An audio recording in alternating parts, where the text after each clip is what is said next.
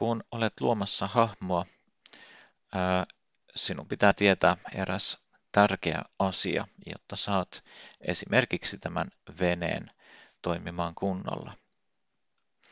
Ja se on tämä pivot-piste, eli se, se piste, jonka ympärillä esimerkiksi tätä laivaa käännetään. Kun nyt pivot-piste on täsmälleen veneen keskellä, ohjaus on aika helppoa. Jos siirrämme pivot-pisteen ihan, ihan takareunaan, se on vähän toisenlainen ohjata.